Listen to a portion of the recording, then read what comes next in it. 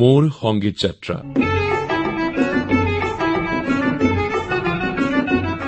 এই অনুষ্ঠানত বৰ্তমান প্ৰচাৰ হৈ আছে শিল্পী মনীষা হাজৰিকাৰ সংগীত যাত্ৰাৰ কাহিনী সাক্ষাৎ গ্ৰহণ আৰু প্ৰযোজনা অশোক ভট্টাচাৰ্যৰ। আজি শুনো মনীষা হাজৰিকাৰ সংগীত যাত্ৰাৰ ষষ্ঠ খণ্ড। বাইদেউ নমস্কাৰ। নমস্কাৰ। আমি পঞ্চম খণ্ডলৈকে আপোনাৰ সৈতে আপোনাৰ সংগীত যাত্ৰাৰ কথা পাতিছিলো। আজি ষষ্ঠ খণ্ড। ষষ্ঠ খণ্ডত আৰম্ভণিতে মই আপোনাৰ সুৰ লৈ কথা পাতিব খুজিছো। এটা গীত কওক যিটো আপোনাৰ সুৰ নিজৰ সুৰ। তাত কাৰোৱে চাহ নাই। আপুনি নিজে কৰিছে। তেনেকুৱা। এটা গীতৰ কথা কওকচোন।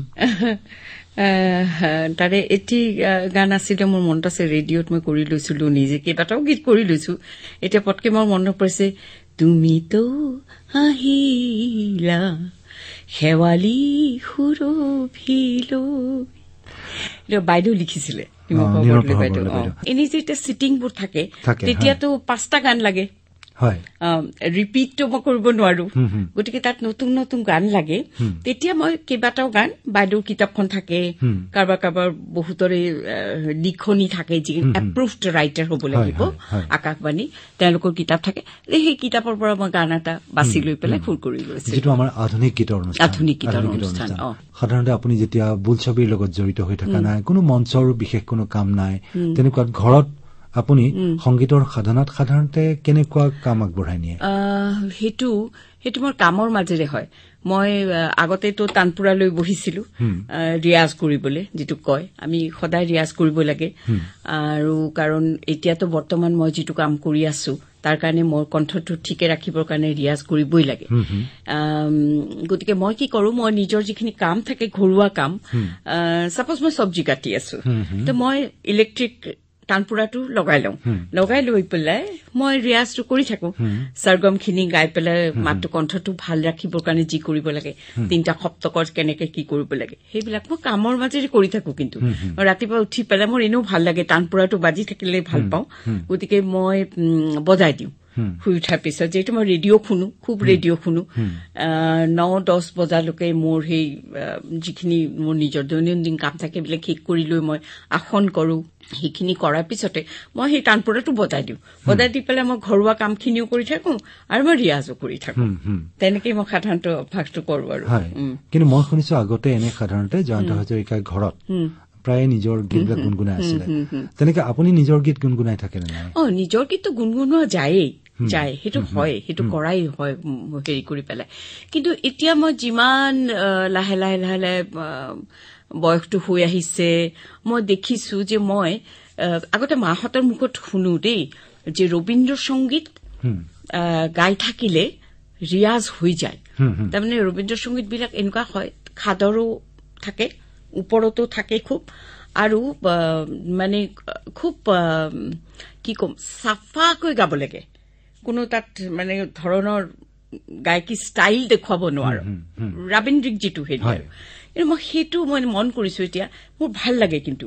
মই যেতিয়া ৰিয়াজটো কৰি ললো ছাপ'জ হা তাকত সেই এ ধৰিলো বা বি ধৰিলো স্কেলটো চিলেক্ট কৰাৰ পিছতে সেই ছেইম স্কেলটোত মই যদি দেখো যে মোৰ এনেকুৱা এটা ফিল হৈছে যে মই এনেকে গাব পাৰো ক্লান্তি আমাৰ ক্ষমা কৰো প্ৰভু পথে যদি পিছিয়ে পিছিয়ে পড়ি কুফু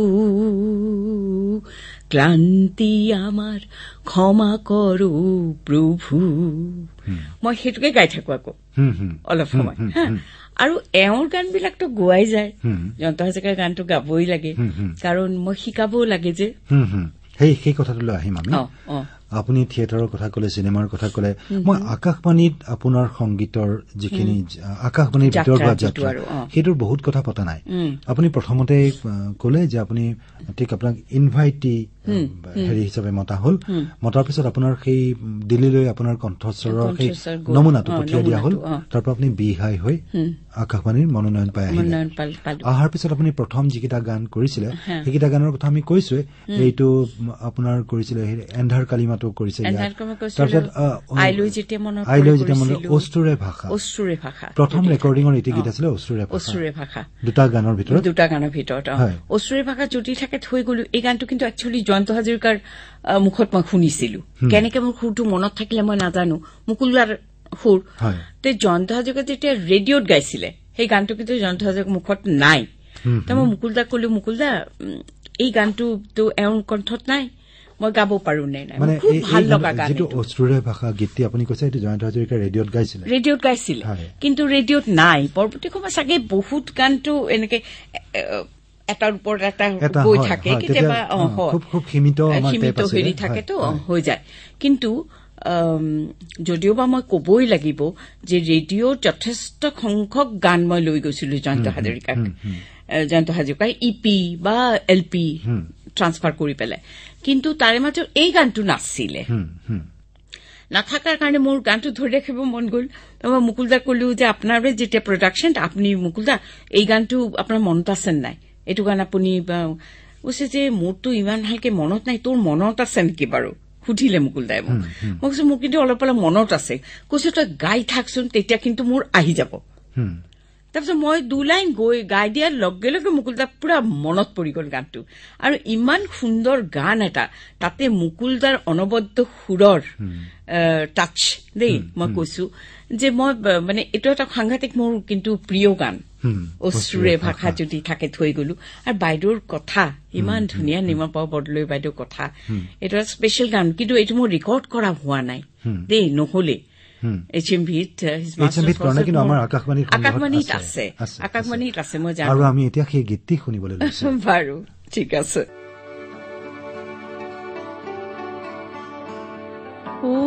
অশ্ৰুৰে ভাষা থাকে যদি থৈ গলো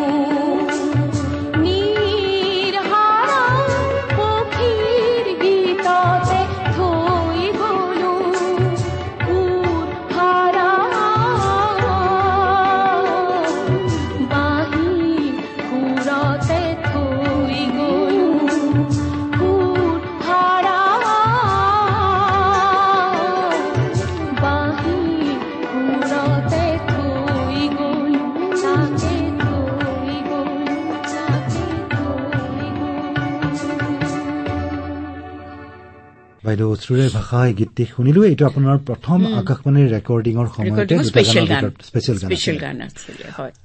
জয়ন্ত হাজৰিকাই যিটো শেষ গীত লক্ষ্মী থিয়েটাৰৰ কাৰণে কৰিছিলে। গান কৰিছিলে আকাশ আজি মোৰ নাই বতাহ নাই জোনাক নাই। হয় সেইটো আপুনি কৈছিলো মই আকাশ আজি মোৰ। সেইটো কিন্তু আপুনি আমাৰ আকাশবাণীত হয়তো সেইটো গীত বাণী নাই নাই সেইটো চাগে ৰেকৰ্ডে হৈছে। সেইটো আপুনি কমাৰ্চিয়েল চিডিত কৰিছিলে কিন্তু আমাৰ হাতত আছে গীতটি। এতিয়া এই গীতটিৰ সুৰৰ কথা কওকচোন। এইটো জয়ন্ত হাজৰিকাই কৰিছিলে। কিন্তু মোৰ এনেকুৱা লাগে গীতটিত যেন জয়ন্ত হাজৰিকাৰ লগত আপুনিও কৰবাত হাত দিছে। তেনেকুৱা যেন লাগে নাই জানা অশোক এইটো গানত মোৰ হাত নাই। কিয় নাই তোমাক কওঁ মই? কাৰণ গোৱালপাৰাত গৈ পেলাই তেওঁলোকে সুৰ কৰিছিল। বাইদেউ লিখিছিলে আৰু জয়ন্ত হাজৰিকাৰ সুৰাৰোপ থিয়েটাৰত সেই গীতটি কেনেকুৱা কণ্ঠৰ লগত আছিলে? কণ্ঠতে আছিলে হয়। ফিমেল কণ্ঠত আছিলে সেইকাৰণেতো আহি পেলাই মোক কৈছিলে যে। এইটো তুমি খুব সুন্দৰ সুৰ এটা কৰিছো তুমি গাব পাৰিবা বাইদেউ পিছত খুব দুখ কৰিছিলে নিমপাও বদলৈ বাইদেউ যে মই গানটো লিখি দিলো এইটো যে তোৰ জীৱনৰ লগত ইমান মিলি যাব তই গাব লগা হল সেই গানটো সেইটো মই কেতিয়াও ভাবা নাছিলো তেতিয়া কৰোতে। হয় আমি সেই গীতটি অকমান শুনি লৈছো। আকাশ আজি মোৰ নাই নাই জোনাক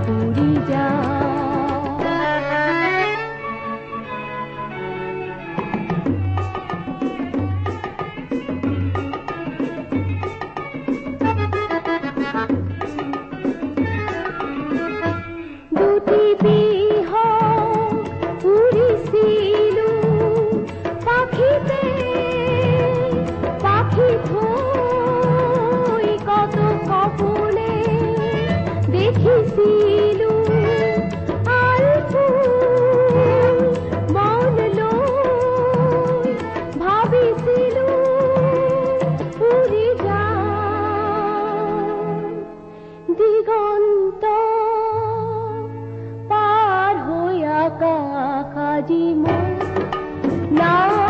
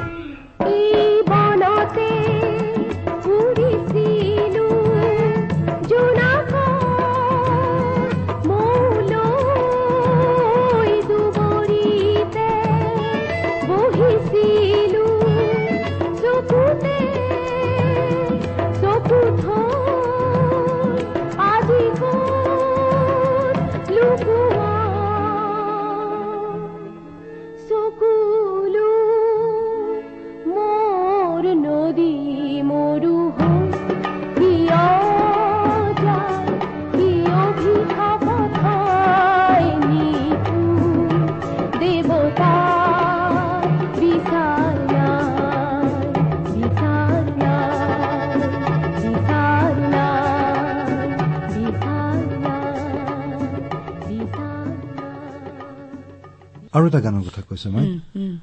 অলপ হাঁহি অলপ অশ্ৰু। অলপ অশ্ৰু সেইটো আমাৰ আকাশবাণী মই সেই এইবোৰ কিছু গান জয়ন্ত হাজৰিকা নাগালে। কিয় নাগালে মই নাজানো দেই। কিন্তু অলপ হাঁহি অলপ অশ্ৰু এনেই ৰেডিঅ'ৰ গানটো আছে জয়ন্ত হাজৰিকাৰ। ৰেডিঅ'ত গোৱাটো আছে। মই ইউটিউবত পাওঁ। ৰেডিঅ'ত এই কিন্তু? অ মোৰ কণ্ঠত আছে মানে মোৰ। ৰেকৰ্ড হৈ গ'ল। মই ৰেকৰ্ড কৰিলো তাৰমানে। দেই। তাৰপিছত কিছু গান মই ৰেকৰ্ড কৰিছো যেনেকে ৰেডিঅ'ত মই প্ৰথম গাইছিলো আমাৰ অনুপম চৌধুৰীৰ মোৰ জীৱনৰ সূৰ্যমুখী কেতিয়া আহিব? মোৰ জীৱনৰ এইটো এটা স্পেচিয়েল প্ৰগ্ৰাম অনুপম চৌধুৰীৰ আছিলে সেইটো কিন্তু মই পিছত ৰেকৰ্ড কৰিছো। সূৰ্যমুখী শব্দটোৰে আপুনি মনত আজি মোৰ সূৰ্যমুখী সেইটো এটা গান আছে। হয়, আছে হয়। হয়। এইটো মোৰ বহুত জীৱনৰ পাহৰি গৈছো ৰেডিঅ'ত বহুত গান গাইছো। বহুত গান গাইছে। অ, মোৰ খুব হাতত কম এখন সময়ৰ দীঘল- ভিতৰত মই বহুত গান গাইছো কিন্তু। দীঘল দীঘল এখন তালিকা লিষ্ট আছে আছে, মোৰ তাকে, সৈতে। অ। হয় আপোনাৰ গান তাৰমানে বা- বা প্ৰত্যেকৰে প্ৰডাকশ্যন পাইছোতো। হাইদৰৰ মই এটা খুব সুন্দৰ গান গাইছিলো। সেইটো হ'ল তোমাৰ হেৰি বহুদিন হ'ল তোমাক দেখা নাই। তোমাক দেখা নাই। আগলি বতাহে খবৰ আবেলি বতাহে চাগে। আবেলি বতাহে খবৰ দি যায়। হুম। সুন্দৰ গান আছিল হয় সেইটো সেইটো এটা। হায়দৰাবাদীৰ আমাৰ ইয়াতে অ। আ- আকাশবাণীৰ আকাশবাণীৰ হেৰিতেই গানেই গাইছো। স্পেচিয়েল প্ৰডাকশ্যন আছিল স্পেচিয়েল প্ৰডাকশ্যন আছিল। গতিকে আপুনি- অসীমৰ গাইছো বিপুল বৰুৱাৰ গাইছো ৰমেন দা ৰমেন চৌধুৰী দেৱৰ গাইছো আৰু বহুত সুৰকাৰৰ গান গাইছো দেই। জনি জোচফৰ গাইছো। এনুৱা জোনালী ৰাতি। এনুৱা জোনালী ৰাতি। আমি সেইবিলাক গীতৰ কথা আকৌ। আহিম। ঠিক আছে বাইদেউ আমি ষষ্ঠ খণ্ডত আজি এইখিনিতে সামৰিছো। ইয়াৰ পিছত আপোনাক আমি লগ পাম সপ্তম খণ্ডত। তা আজিলৈ নমস্কাৰ জনাইছো বিদায় লৈছো। মই নমস্কাৰ জনালো অশোক ইমান পৰে শ্ৰোতাসকলে শিল্পী মনীষা হাজৰিকাৰ সংগীত যাত্ৰাৰ ষষ্ঠ খণ্ডটি শুনিলে। সাক্ষাৎ গ্ৰহণ আৰু প্ৰযোজনা আছিল অশোক ভট্টাচাৰ্যৰ।